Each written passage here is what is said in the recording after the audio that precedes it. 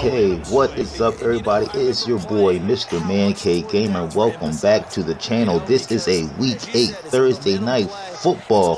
The Washington Redskins are going to Minnesota to go against the 5 and 2 Minnesotas and oh my god, sorry, Washington 1 and 6 Redskins. Now, anyway, I wanted to go for the Vikings because the Vikings to me, of course, is the better damn team. Not because of the record; they're a complete team. The receivers are pretty fucking good. Kirk Cousins is, to me, is underrated like shit.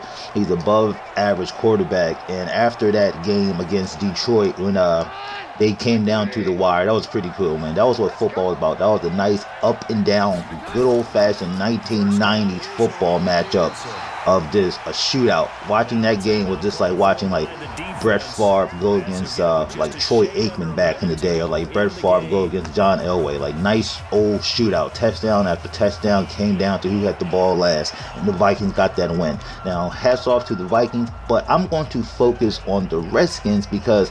I'm going to go ahead and just do it. I'm going to have the Redskins as my upset pick. It's crazy, it's stupid coming out my mouth, but even though they lost to the 49ers, which is an undefeated team, uh, 9 to 0, I know the weather had 90% to do with why the score was so low. At the end of the day, just the fact that they lost to an undefeated team and the score is like that. That that if the right coach, you know what I mean, if, if the right motivation is due to this team, you should go into that knowing that you lost, but also just like, fuck it, we hung in there against a team that should have beat us by like 20 something points, even though the rain.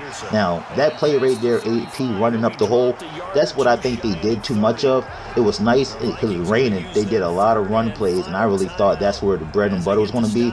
But at a certain point in time, the Redskins should have threw that ball up. And at the end of the game, really, San Francisco, they figured that they figured that part out a little bit later around the second, third quarter they start passing the ball. They're like, fuck that rain.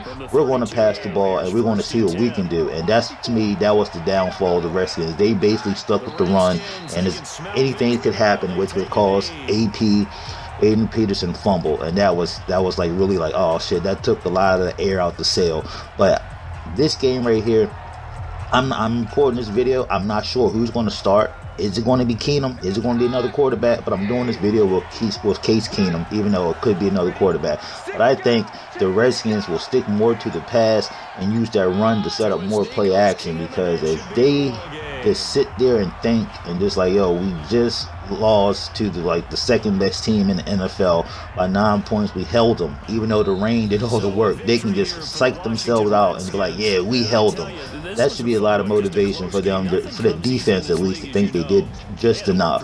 But that offense to get their shit together, man. It was some bad play calling. They should have passed a little bit more. But anyway, I'm just picking the Washington Redskins just to do it. You know, this team needs some hope. I'm from Maryland. I'm a Baltimore Ravens fan, so I got to see sad ass Redskins fans every day. So give them boys a win, and that'd be nice for them to get the win over their old quarterback Kirk Cousins. Anyway, it's your boy Mr. Man Cave Gamer. I am out victory. And uh, sorry, no Ravens video. Week eight, my Ravens got a bye, so I'll see you week nine. But anyway, it's your boy Mr. Man Cave Gamer. You let me know who you think will win this matchup: the Washington Redskins or Minnesota Vikings. I'm going with the upset. going to go Washington. Peace out. I will catch you in the next one. This has been a presentation of the NFL on EA Sports. From Minneapolis, good night, everybody.